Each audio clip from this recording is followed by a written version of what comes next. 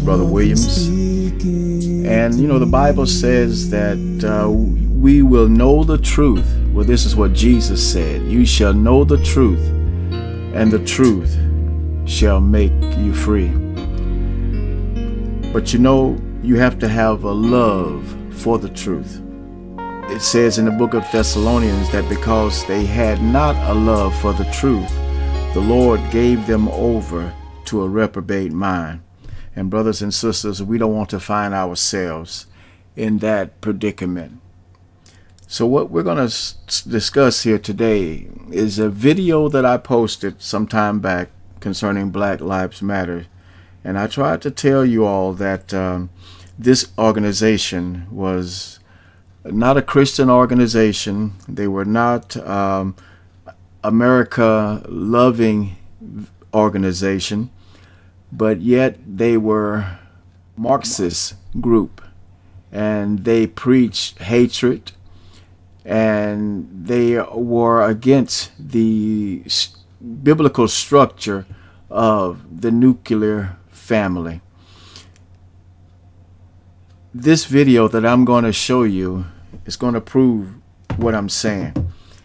Um, I've shown videos before about the uh, one of the founders of Black Lives Matter. He was found out that she bought three houses, um, more than likely with funds from Black Lives Matter. If Black Lives Matter cared about Black lives, then they would uh, be up in arms about the children that are being killed, the innocent black children that are being killed in drive-by shootings. But because that doesn't fit their agenda, the black lives of those kids don't matter.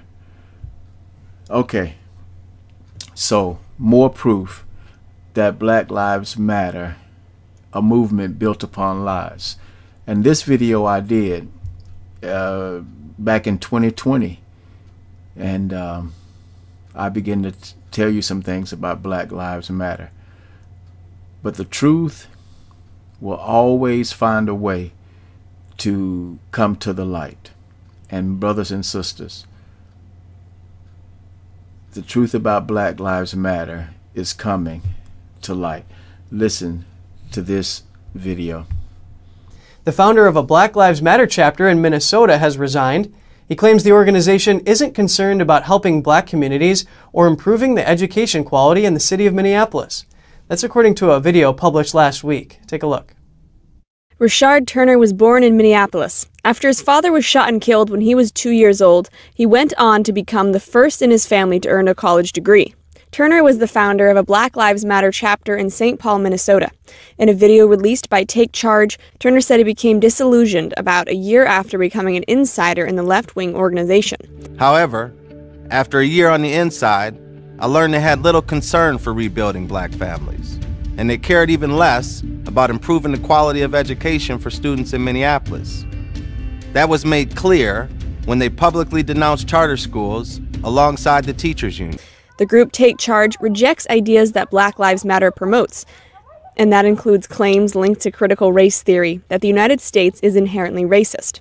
I was an insider in Black Lives Matter, and I learned the ugly truth. The moratorium on charter schools does not support rebuilding the black family, but it does create barriers to a better education for black children. Though he resigned from BLM, he says he hasn't stopped working to improve black lives and help them get access to great education. Black Lives Matter didn't immediately respond to a request for comment. This comes after BLM co founder Patrisse Cullors resigned following a New York Post report. The report said Cullors purchased four homes for over $3 million. She asserted she did not misuse any donations to Black Lives Matter. Various polls show that a year after George Floyd's death, support for BLM has plummeted, and so has support for its calls to defund the police. Okay, so we see here that this is an insider, a former uh, leader in a Black Lives Matter organization. And he knows what's going on in that organization, so he see uh, that this organization did not care about black lives as they claim they do. Okay, you know, there are a lot of people uh, that are in the Black Lives Matter, they're in it for the right reasons, more or less, but the uh, organization is doing things the wrong way and um, have an agenda. So people are, you know, that are want to see um, black people benefit and black people grow. They're in it, this organization, you know, trying to do that. But sadly, the leaders of the organization have the wrong motive, as I've said already. You know, the Bible tells us that in the book of Timothy, 2 Timothy 3:13, he says, "But evil men and seducers shall wax worse and worse, deceiving and being deceived." Ladies and gentlemen, this is what we are seeing today. Evil men, evil men with evil hearts and evil intentions. The Bible says they will wax worse and worse. They will become more and more corrupt, more and more evil. And this is what we are seeing happening today. Now, also, it says in the book of 1 Timothy 4 1, Now the Spirit speaketh expressly that in the latter times some shall depart from the faith, giving heed to seducing spirits and doctrines of devils. Some will depart from the faith, giving heed to seducing spirits. And the Bible said that evil men and seducers will wax worse and worse. How are these men being seduced? By spirits, by seducing spirits. And it's sad that many in the church will follow these people because of emotion because of the plight of the black man um, from early history, being enslaved, and all of these types of things. And we can't let it go. We can't seem to forgive, as Jesus said that we should forgive. So, because of that, we are seduced by these men who are seduced by evil spirits. So, brothers and sisters in Christ, you have to make up your mind what are you going to do? Are you going to live uh, like Jesus told us to live? Or are you going to continue to be led by your emotions and not by the Holy Spirit of God? Now, let's go to another story concerning the coronavirus. I placed posted this video uh, back in 2020 as well, speaking about the coronavirus and what I believe the Lord had showed me about this virus, how it would disrupt our lives, and um, we would um, not be able to do the things that we used to do, public gatherings, you know, going to church, or going out to restaurants, and how all these things would be affected. And surely we have seen this come to pass. And I also spoke about how the uh, uh, how this COVID-19 virus could be used by those who favor globalism and New World Order uh, agendas would use this to uh, promote the New World Order and to control people.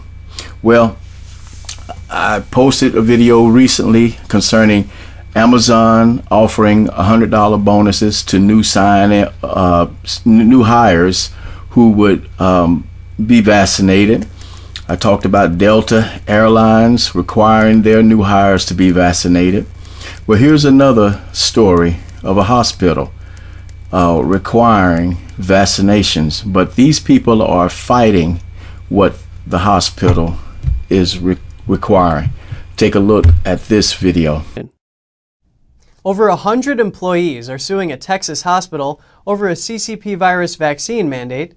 They say they shouldn't be forced to choose between keeping their jobs and taking an experimental vaccine. Nearly 120 employees are suing the Houston Methodist Hospital. That's over a requirement that they get a COVID 19 vaccine. The hospital mandate applies to all employees, while the lawsuit says that the employees are being forced to act as human guinea pigs for an experimental vaccine. Marc Boom is the CEO and president of Houston Methodist. In a statement, Boom said 99% of the hospital's employees have gotten a vaccine. He says it's legal for healthcare institutions to require vaccines, and they already do that for the flu. He claims the employees who don't want to get vaccinated are not putting patients first. Attorney Jared Woodfill is representing the employees. He told ABC News that the hospital's policy violates the Nuremberg Code of 1947. The code was written after the fall of the Nazis and establishes ethical practices for human experimentation. The lawsuit says many aspects aren't yet known about the effects of the mRNA vaccines, so they're considered experimental. The lawsuit cites a letter from Boom stating that employees have until June 7th to get a vaccine before they start facing disciplinary consequences and eventually lose their jobs. Florida Governor Ron DeSantis says again that his state won't embrace so called vaccine passports. This comes amidst confusion about whether airplane and cruise, follow, cruise travelers will follow a federally mandated system to show proof of vaccination. Florida passed a bill banning vaccine passport like systems in early May, and DeSantis said he will enforce Florida law regarding vaccine passports. This means that some cruise lines, which have a lot of business in Florida, could be at risk of violating the state law. For example, Celebrity Cruises gained approval from the CDC to require proof of vaccination, but DeSantis said Celebrity Cruises would be breaking Florida law if it made passengers show proof of vaccination against COVID 19. Despite statements from the governor, Celebrity Cruises say they'll proceed with their plans and will require people to show proof of vaccination. Well, are we required or should we be required to put something in our bodies that's experimental? Uh, many people are having reactions from it, and some of the uh, reactions are not good, but many people are. So, should we be forced to be vaccinated? Well, it seems like that's what uh, the push is uh, to have forced vaccinations. And um, thank God that there are some people that are fighting against it. So, what does this sound like? You know, having people being forced uh, uh to be vaccinated in order to, you know, fly on a plane, take a, a cruise, to be hired, uh, what does this sound like to you?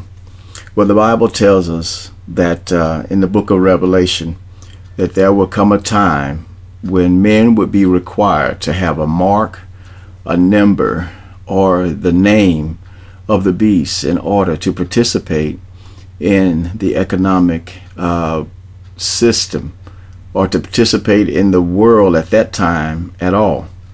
In the book of Revelation 13 and verse 17, we read, And that no man might buy or sell, save he that had the mark, or the name of the beast, or the number of his name.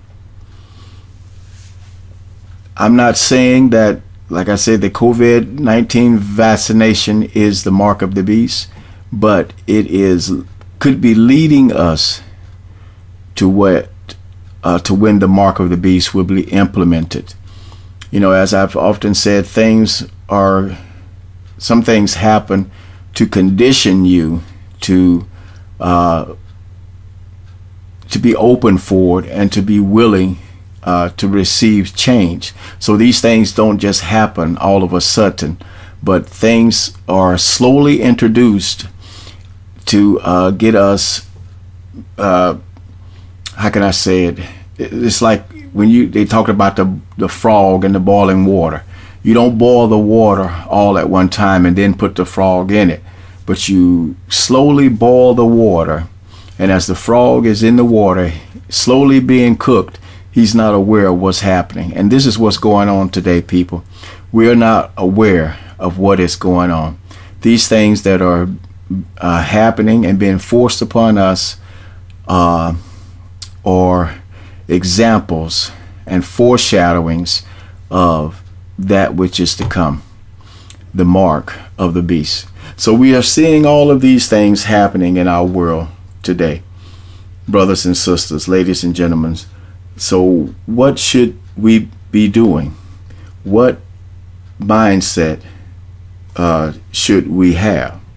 You know, Peter says for us in the book of Second Peter, uh, the third chapter, seeing then that all these things shall be dissolved, what manner of persons ought ye to be in all holy conversation and godliness?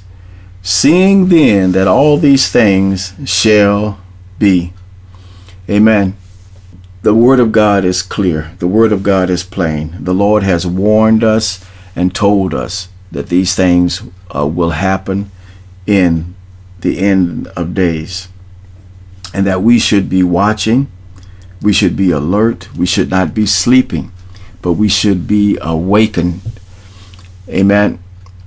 And knowing that these things are going to happen, we should be preparing ourselves. He said, What sort of persons ought we to be in all holy conversation and godliness? My friends, turn from the world, turn from the love of the world, turn from those that are in this world that are not uh, for the Lord. They may look good on the outside, but they are not following the, the, the, the will of the Lord. They're not living according to the will of the Lord. They have their own agendas. You know, the celebrity figures, politicians, and the like. We have to turn from these things and turn and follow the ways of God in truth, brothers and sisters. As I said from the beginning of this video, Jesus said, And ye shall know the truth, and the truth shall make you free. Are you willing to receive the truth, brothers and sisters? I pray that you are. God bless. Until next time. The voice of the Lord is full of majesty, breaking the bands of the